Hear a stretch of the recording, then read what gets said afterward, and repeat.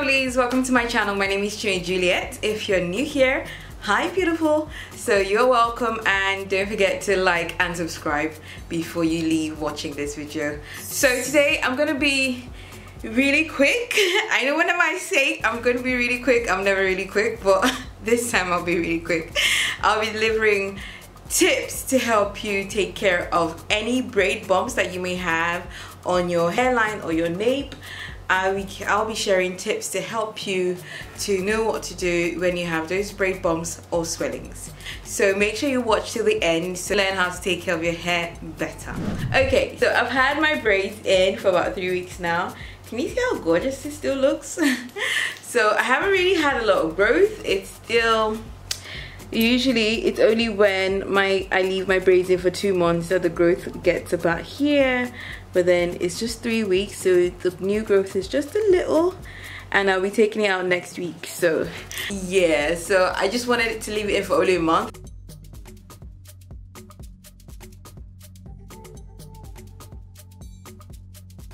So before we begin, I'd like to explain what exactly braid bumps and swellings are. And they're actually inflamed hair follicles which are called folliculitis. So it's actually a hair condition. And although folliculitis is usually caused by a bacteria or fungal infection, in some cases, it can be caused by stress and tension with braids during protective styles. So even your updo can cause you folliculitis. For example, the worst one I've seen so far is with my sister. She had her hair in this really tight high bun and it was a disaster. Literally she had it in for about a month and when the high bun was taken down she had like pus oozing out of it. It was just a mess. Like it was really really bad. And then she also had like some on her edges as well. So please please if your hair is braided tightly or styled tightly it's not worth it make sure because this can lead to hair loss. So always make sure that you loosen that part of your hair or just change your style to something more convenient. It's really not worth it. Alright, so as I already mentioned, I usually leave my hair in for about four weeks, but then it's only been three weeks and I've noticed braid bumps on my nape. So as you can see it's only on one particular braid which shows that the braid was braided too tightly.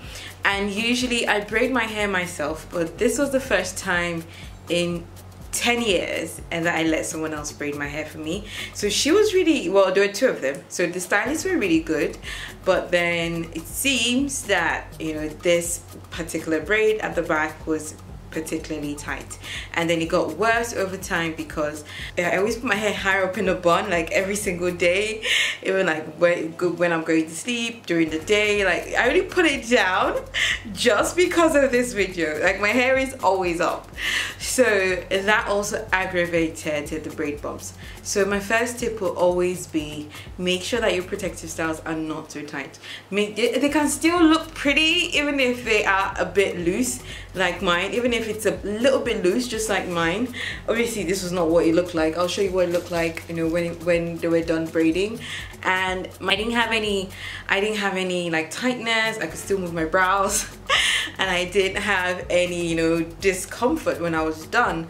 So this particular nape um, braid bumps was definitely due to the fact that my hair was always in a bun. So that put a lot of stress on my nape hair, my little baby nape hair, and that's the reason why I got these braid bumps. So you have to check yourself, you have to check wherever you're having those braid bumps right now, those braid swellings, make sure you please check, check that your hair is not braided tightly around there. And if it is, I do suggest that either you loosen the braid or you loosen the style that's in. So if it's in a high bun, always make sure that after you put your hair in the bun, make sure that you you pull out that particular braid like you pull it to be a little bit loose just a little bit loose not as firm as the rest Number two is whether or not you decide to take out your hair out of a tight style, I would suggest that you do massage the area of your hair that has the bumps. Massaging that part of your hair helps reduce the tension. So but i would always advise that you take the braids out or you just loosen it. Just make sure that it is not so tight. So I usually use either castor oil or coconut oil. Use whatever is convenient for your scalp. Any oil that you have that doesn't cause buildup, that absorbs really easily, will work for you. Just use it to massage your scalp just to reduce the tension in that area. My next tip is please take breaks between your braids and protective styles.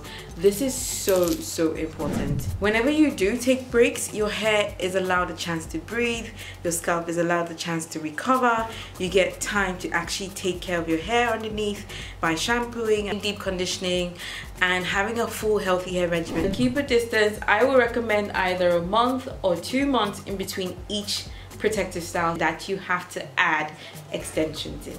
So with this one, I do plan on braiding my hair again, but I will give a break of a month or two in between just to make sure that my hair is properly taken care of underneath without any of this extra weight on top of it. But having said all that, I hope you all learned something from this video. If you are suffering from braid bumps or swellings right now, please try the three tips that I just mentioned. And then if you are experiencing like pus oozing out of your scalp from your tight style I would definitely recommend you go see a dermatologist immediately if you cannot find a trichologist in your area. So please do that as soon as possible just to save the health of your hair. Guys thank you all so much for watching this video. Don't forget to live well live great and pray always. God loves you and God bless you. Take care lovelies don't forget to like comment and subscribe. And buy my book. All right then. Bye. Bye